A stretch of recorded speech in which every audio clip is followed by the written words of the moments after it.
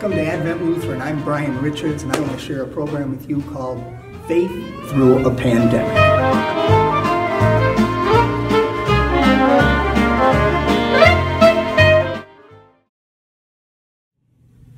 Wherever you go, you hear about it.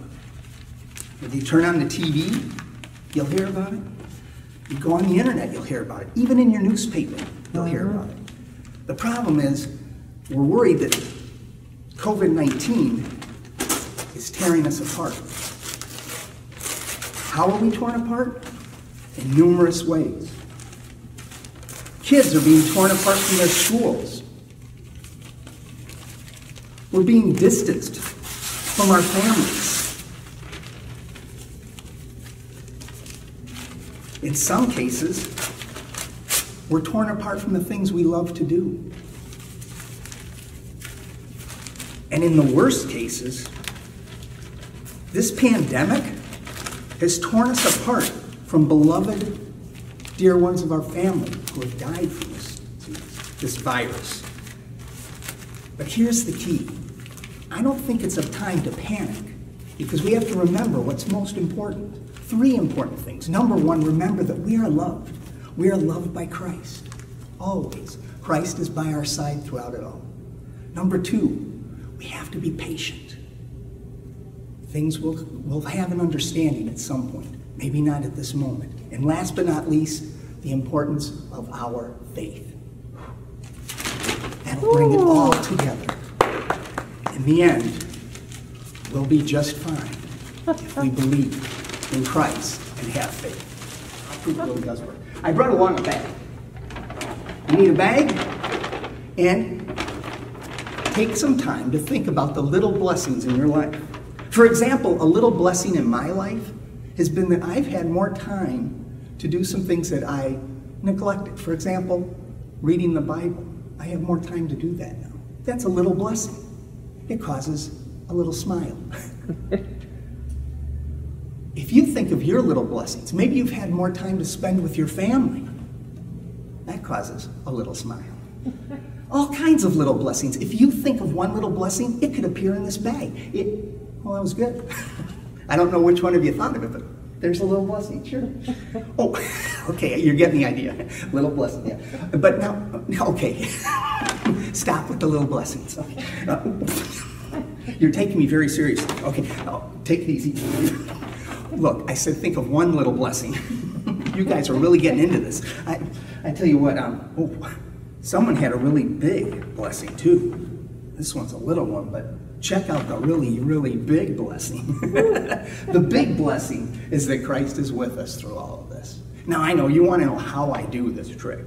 I don't usually reveal my secrets, but I'm going to tell you the secret to this one. I use a magic wand. It's a small one, but you'll let me pull it out so you can see it. Yeah, yeah, magic wand. That's how you do these tricks. Yeah. Well, I think it's time to teach you how to do a magic trick. And if you stick around for the rest of the show, I'm going to tell you how to do the trick, okay? I'm going to teach it to you. Let me show you. This is, this is a way I get you to stay till the end. Yeah. Hey, you may have noticed I have a little box here. This little box, it's my emergency box. Right now, I'd say we're in a sense of emergency with the way our world is. It's important to have a backup plan. A magician has backup plans too. When I do a card trick, if it goes wrong, I've got the emergency box right here. Our current situation, you know what your emergency box is? Prayer. Now, I have a story to tell, and this is a story when I was in school, so it was a long time ago.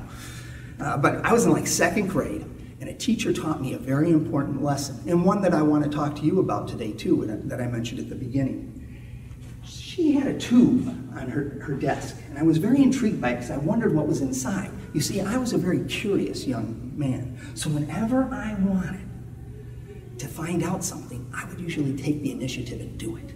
For example, when she said this there's something in this tube that's special. It's the mother of all diamonds, she said. This is the mother of all diamonds. And I thought, what's the mother of all diamonds? I was very curious. I wanted to know what was inside. So it was time for me to go hand in my homework. I went up to her desk and said, Here's my homework. And she said, Don't look in the tube. I said, Okay, I won't look in the tube. I really wanted to look in the tube. So then later, I had to do a math problem up at the board. So I said, I'll do the math problem. I went up there. She said, Don't look at the tube. I said, All right, I won't look in the tube. did the math problem and sat down. Finally, we did an art project. Well, guess what? She went to the art room to get some construction paper. Guess where I went? To the tube. I went right to the tube. I lift the tube up, and sure enough, I found a glass of rocks. I was rather disappointed. I said, What? What are these rocks? These aren't diamonds, they're rocks. And right then, guess who came in the room? The teacher. Yeah, that's right. She said, Brian, what are you holding? I said, Nothing. she said, What's behind your back? I said, Nothing. She said, Show me your hand. I said, Nothing. she said, The other hand. I said, Nothing. She said, Brian, what do you have? I said, I couldn't wait. I was rather concerned. I wanted to see what the mother of all diamonds were. And I, I was curious and I well, I don't understand. These are rocks, they aren't diamonds. And she said, Brian, that's the message I was going to tell you all at the end of the day. But since you went early, I'll tell it now. She said, Look at that rock. It's a piece of coal, actually. And you may not know this, but coal is the mother of all diamonds. It gets buried in our earth and it gets compressed over the years, centuries, and changes. You see, this rock is rough with rough edges. People are like that too. Some people have rough edges. But when they learn how to be work with people and they learn lessons throughout their life, they smooth out just a little bit. People are kind of like that too. So she put this one in her coffee cup. She liked to drink a lot of coffee. she said, Now look at this other one. This one's a little bit different. It's a little smoother on one side. You see, as time goes through and we learn how to deal with things, we change too. Pretty soon, after a while, look, one whole side of the rock is smooth, the other side's got a sharp edge. Still work to do. Eventually, the rock gets smoother and smoother and smoother until it eventually takes on the characteristics of a diamond. And she took this diamond, or excuse me, this rock, and she put it on the table. And she said, Brian, what I was trying to explain to you is that each of you has a diamond inside waiting to be discovered. And with that, she took the tube, she put it on top of the glass, she waved her hand once, took the tube off, and said, You see, the truth is, if you work on yourself and become the best person you can, you'll find that diamond that's inside of you. Each and every one of you will find oh. your diamond. and she took the one rock and she said to me, Brian, I want you to keep this as a souvenir, as a remembrance of the fact that you need to work on something. You need to work on patience. and that was her story to me. And one of the points of this show today is that we have to be patient during this time. It's hard, I know. Um, things have changed. Things aren't the way we're used to having them. But with patience and trusting in Christ, we'll get through this. Your name? Darby. Darby, nice to meet you. How are you? Good. Good. You're going to help me with this incredible. Oh, yeah, come on in a little bit. You try to stay in between these two spots. There you go. You're going to help me with the card trick. Have you ever done magic before? Uh, attempted to. Attempted. Okay. Well, maybe today you'll be successful. That's good. I tell you what we're going to do. We're going to have you select a card. Now, you'll notice that all the cards are different. I'd rather I get the credit than the card. so, they're all different. So what you're going to do, I'm just going to spread through the cards, and at some point you're going to say stop. And I'm going to split the deck at that point, and that's going to be your card, okay? Yep. Right, so I'll just go through and you say stop. Stop. Right there. Split right at this point. Cards here. Take that card. Don't let me see it. You can take a look at it. In fact, to make it different, Darby, than any other card in the entire world, you can get a pen. A big pen. And on the face of that card, you can use that table. I'll turn away. You're going to put on the face, the other side, don't, don't turn it yet.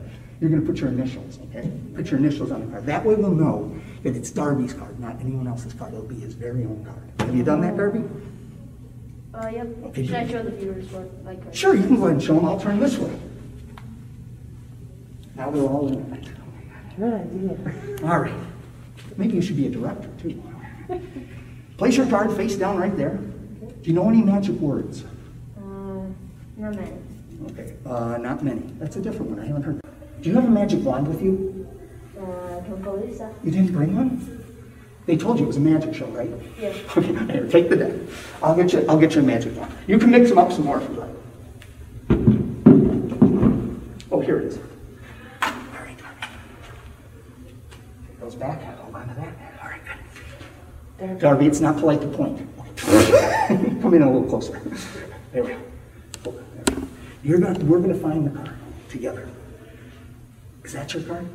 No. Is that your card? No. It's somewhere in the middle. Take the wand, tap the deck. Just like that. Is that your card? No.